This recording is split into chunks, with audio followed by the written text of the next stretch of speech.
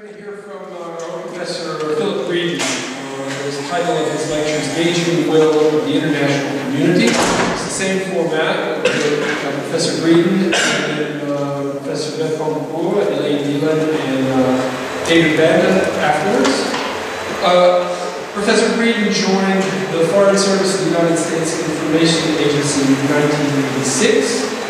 He served in public the diplomacy positions in Ankara, Antananarivo, Istanbul, Washington D.C., London, and Tunis before becoming the Consul General in Marseille here in 2005. Uh, he was the press counselor at the U.S. Embassy in London. And public, he served as the Council of Public Affairs at the U.S. Embassy in Paris. Uh, he has received numerous honors, including the Superior Honor Award for his public diplomacy efforts in Tunisia, with Palmes Académiques for his work with high schools in France, and the Secretary of State's Career Achievement Award. So we're very happy to have you here this evening to talk about the role of the international community. Please, Mr. Green. Thank you. Um, this is on here. Um, uh, thank you very much. I want to thank the previous speakers for uh, putting me in the enviable position of being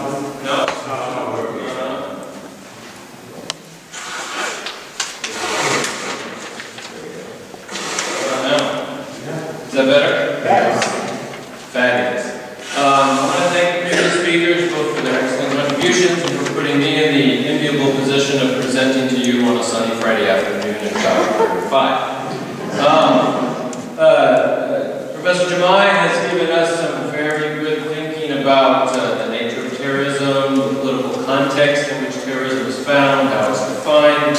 Um, Professor Llorca has talked to us about how the EU and France have responded to uh, the most recent attacks in Europe. My job is to take you through the rest of the world in about 30 minutes.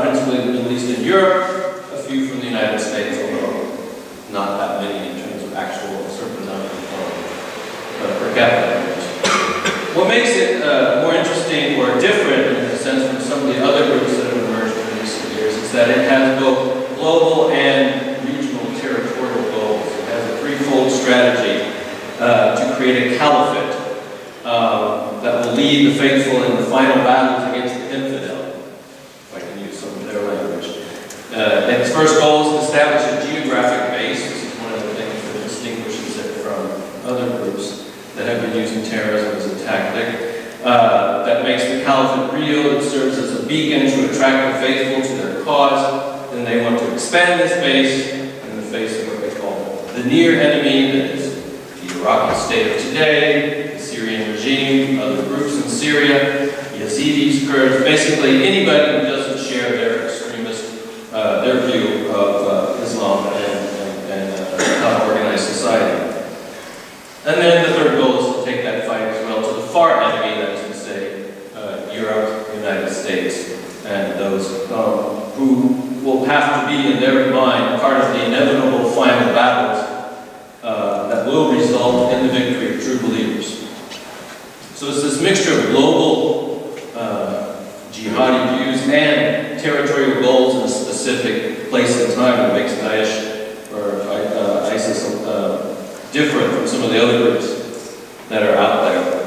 And then as Dr. Noted, they have a belief that highly visible acts of violence have an important role in how they go about meeting their goals. Now, one of the things that I think caught people by surprise when they uh, started looking at this, they thought that um, ISIS had made a fundamental error and that they would get bogged down in step one, which is creating and maintaining uh, a, a, geographic base in the Middle East. That they would get stuck. They would be surrounded by enemies, and all of their energy would be taken up in trying to manage and defend this base. And it is true that they are under attack, they are on the defensive. Um, they have lost uh, territory. They currently do not have territorial links between their holdings in Syria and in Iraq. Um, they continue to lose territory as we speak. The ancient city of Palmyra fell to Syrian government forces at the end of March. Uh, have made several recent inroads into their territories in Syria. They're slowly being rolled back in Iraq. President Obama went out on a limb recently and said that he thought Iraqi forces would retake Mosul, which is uh, the largest city in Iraq that ISIS controls, by the end of this year. But the analysts were wrong in thinking that this would prevent, and all of this would prevent ISIS from also pursuing its broader goal of uh, promoting global uh, confrontation between uh, true believers, as they consider themselves to be, and those who oppose them. So, the Russian airliner that was down in the Sinai, the attacks in Turkey, in Beirut, in Paris, and in Brussels show us that they are both willing and capable to pursue that goal at one and the same time. And in particular, the sophistication of the Paris and Brussels attacks took many off guard. It's one thing to see isolated attacks by individuals that are inspired by the example that ISIS gives them, but Paris and Brussels coordinated, organized, uh, attacks with operational links to individuals in Syria, uh, with complicated logistics, and uh, this makes it different from the so-called lone wolf attacks that had previously been seen. Um, now, one of the things that surprised the analysts is that there is, you know, from a military point of view, there is a, a logical inconsistency here. Why would you deliberately go provoke another enemy to attack you if you're busy building a base in another region? Um, that doesn't make sense, so to speak, so they were surprised that it was happening anyway. But from the ISIS point of view, it does make sense because they have a rather um, apocalyptic view of the future. They think that um, history is inevitably moving towards a uh, massive collision. Uh, they would love Huntington, for example. They do see a clash of civilizations, and part of their job is to promote that and accelerate it and get to that point so that the final victory can occur. So it's not troubling to them that what they do when they attack uh, in Brussels or in Paris is that they may increase the existing fight back they're getting in the Middle East. As Professor Jamai pointed out, France was not absent in conflict in the region already, but their presence certainly increased after the attacks and. So they see this uh, and their devotion to extreme violence also means that doing things that attract media attention, that attacks in the West, as we've seen, attract more media attention than attacks in, say, Iraq. I'm always struck when I see the numbers that Professor Jamai posted about the number of people who actually died from terrorist attacks in recent history. Iraq is at top of the list. Uh, that always gives me pause. Uh, but it's not something you see in the media every day, but if something happens in a major Western European city, you're going to see it discussed ad infinitum uh, in social media and, and other places. Um, Professor Jamai mentioned another reason why they would attack Western Europe, which is to shrink the gray, the gray zone he was talking about, because part of their job is to um, force a choice, to drive apart uh, uh, Muslims from the infidel, and France being the home of the largest Muslim population in Western Europe is naturally a place you would want to do that. Um, I won't go into that any further, although for me it's a fascinating topic, but uh, we only have so much time. So, what now? The regional context. I want to start with the regional context to underline the point that groups such as ISIS do not emerge from thin air. We tend to talk about them in terms of uh, the, the, the, horrificness of their actions, um, what may or may not make them different from other groups. We often forget to put them in their regional and their, their social and economic and everything context. Um, uh, Matt mentioned that uh, disagreed with Prime Minister Valls that you don't ask questions in some way, in some way, shape, or form, seeking to justify what can happen.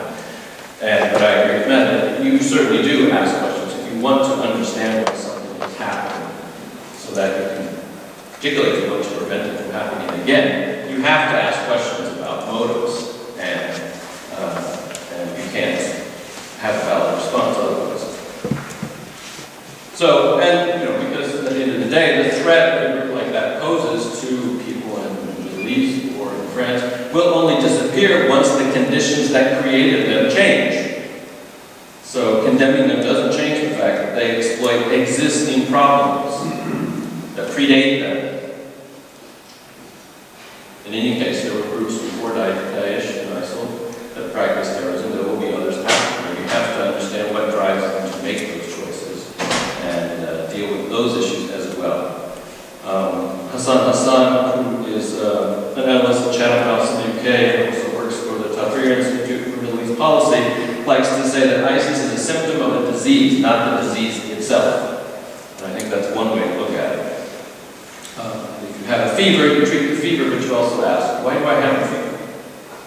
Um, in this regard, I think it's interesting to look at the results from the recent ASDA Burson Marsteller 2016 Arab Youth Survey. I also like to do this because, again, I think too often we tend to talk about the Middle East uh, and political developments in the Middle East without looking at the beliefs and opinions of the people who live in that region.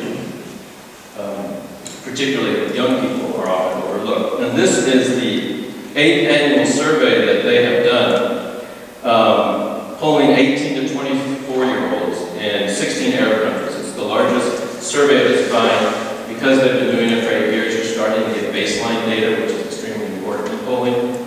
And it covers a wide range of subjects. So I'm only going to treat uh, their opinions about um, to today's topic. But it's a, it's a wide-ranging survey. They're doing a big, uh, great service to, um, to for social science in the region by, uh, by covering this, uh, this topic in this way.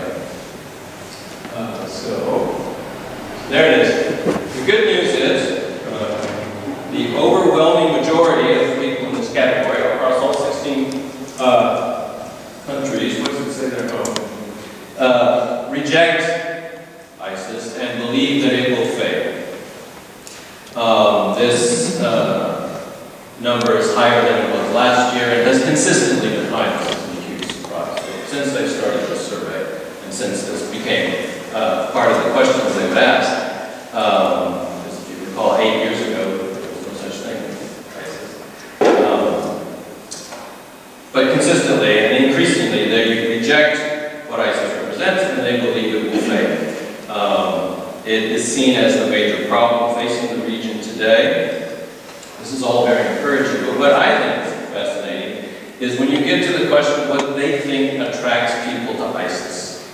And the top response is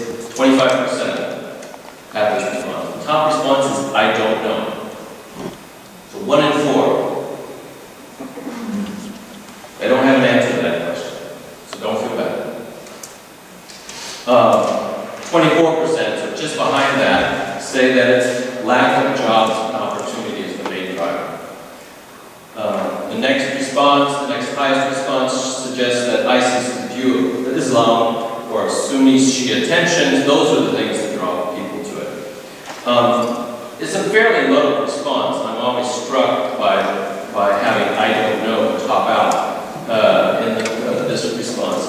Um,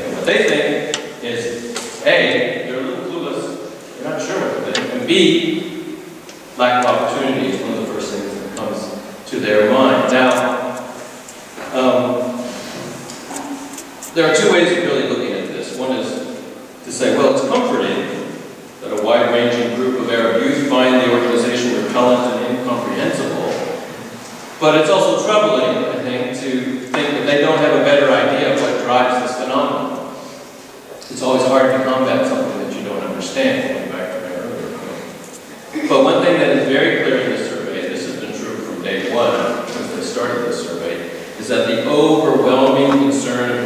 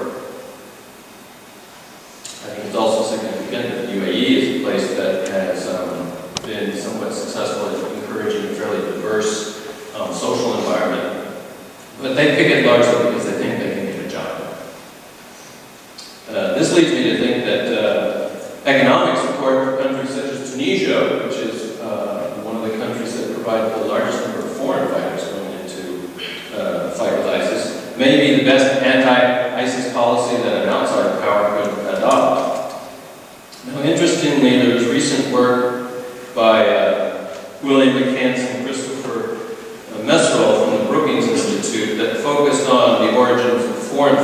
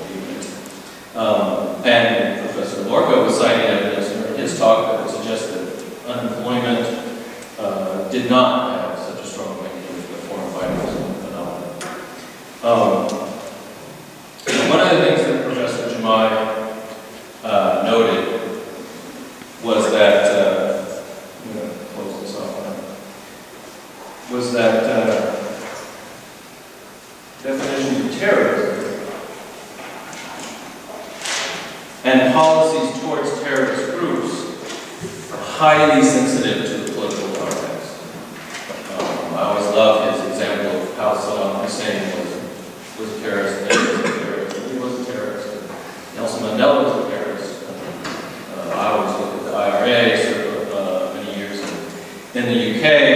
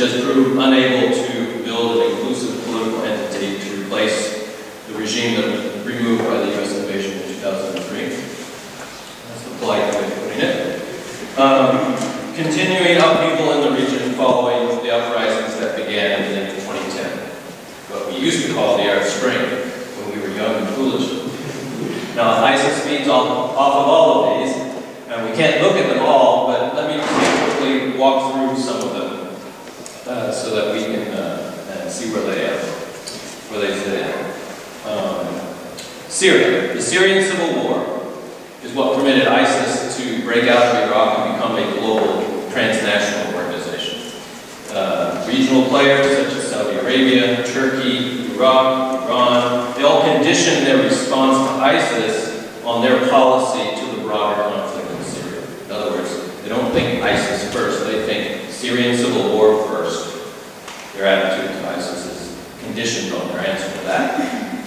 As we, as we have seen, this makes building an anti-ISIS coalition extremely difficult. Uh, and what is clear is that as long as Syria is embroiled in this conflict, ISIS will have a base from which to operate.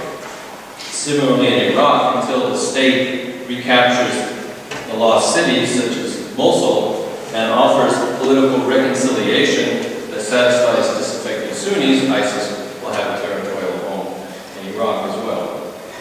Now looking at Syria also reminds us that ISIS is not the only group or state using terrorism in the region. Uh, Al-Qaeda has not disappeared and neither has it been defeated. Um, I refer again to the numbers that uh, Professor Jumaya um, showed us. Um, Clint Watts of the Foreign Policy Research Institute in the United States reminds us that since bin Laden has died, um, there have been a half dozen affiliates of Al-Qaeda that have risen and fallen. And I think what he and other analysts are, are learning is that you have to look at local conditions rather than global trends and trying to figure out what these groups are going to be doing now and in the near future. Um, those are the determining factors in how these groups evolve and the strategies they adopt. An example. In February, many analysts noticed that al-Nusra, which is a Syrian rebel group linked to al-Qaeda, uh, was in talks with several moderate Islamic groups, and that al-Nusra's allegiance to al-Qaeda seemed to be one of the items on the negotiation table. In other words, they were willing to talk about whether or not they would remain loyal to uh, the al-Qaeda brand. And uh, there are some indications al-Qaeda itself may release any groups that have pledged loyalty in that way from their loyalty pledge in order to give them the tactical flexibility they need to create alliances and uh, more positive conditions for their fight on the ground. That's probably more important in the long run uh, than a lot of the broader global trends we look at um, when it comes to what is going to happen in the months to come. All this to say is, as one of the analysts said, the, the, the situation is complex, volatile, and muddled probably a pretty good description of the Syrian civil war at this stage right now as well.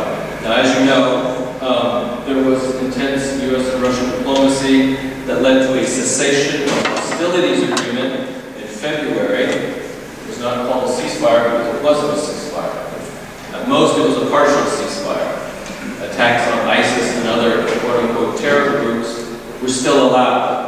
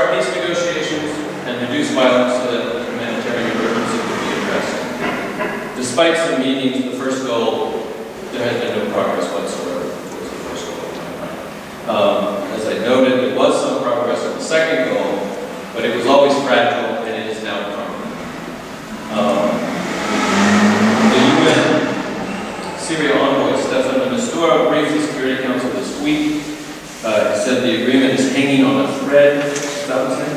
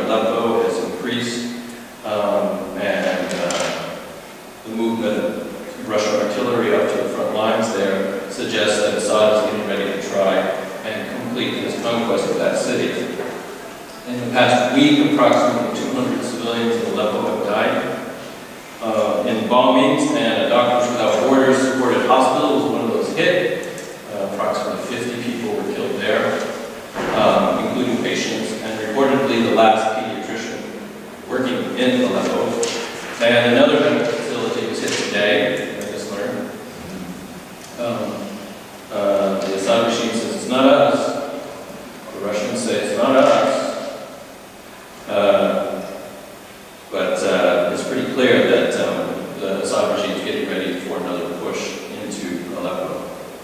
Unless we forget, we are talking about the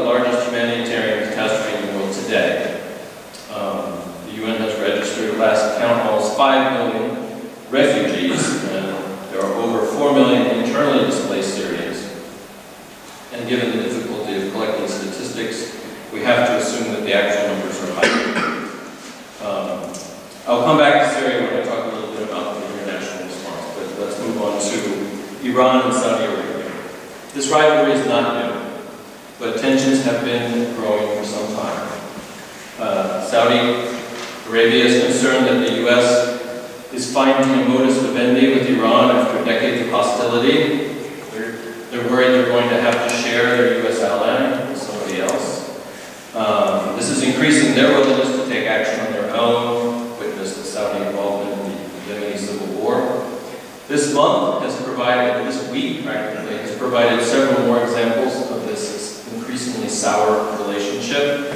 Uh, this month, we've seen an Organization of Islamic Cooperation meeting end badly after the Saudis engineered a final statement that was critical of Iran. A Doha meeting of major oil producers that was called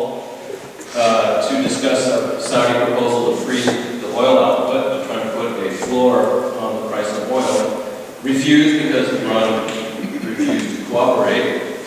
and I think to be fair, uh, because Saudi Arabia refused to compromise on this proposal, at the end of it, the Russian oil minister came out and said uh, Saudi Arabia was harder to deal with than Iran. Um, and finally, talked.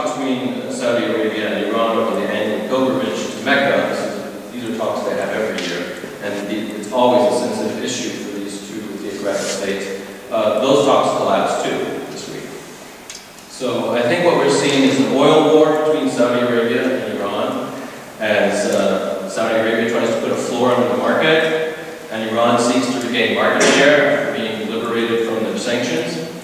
Um, this is not the first time they've been at loggerheads in this way. There was a similar confrontation in the mid-80s that led to both sides losing hundreds of billions of dollars in revenue. But the regional implications for this kind of confrontation are probably more dangerous today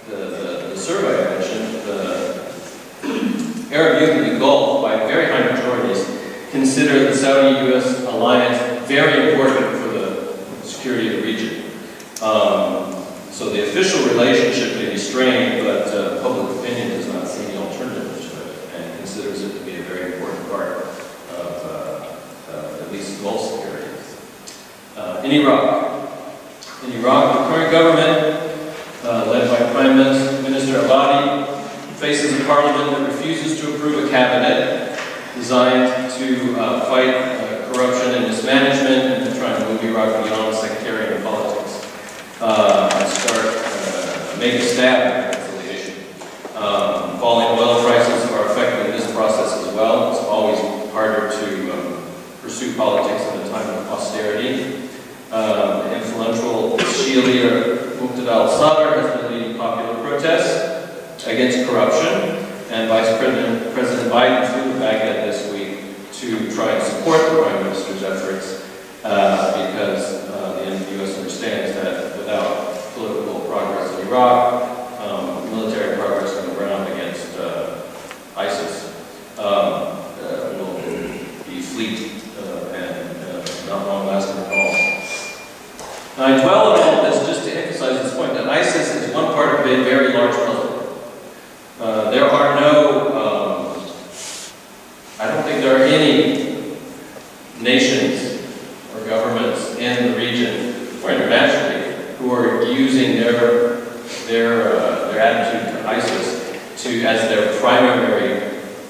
of decision making and what they're doing in the region. Plus, many of the regional players play both sides of the game, going back to one person's terrorist is another person's freedom fighter. Um, Saudi money from private sources supports ISIS just as it did Al Qaeda. Uh, Turkey, for the longest time, was turning a blind eye to ISIS activities on their soil uh, until very recently. Just as an example, Kuwait has at least 10 citizens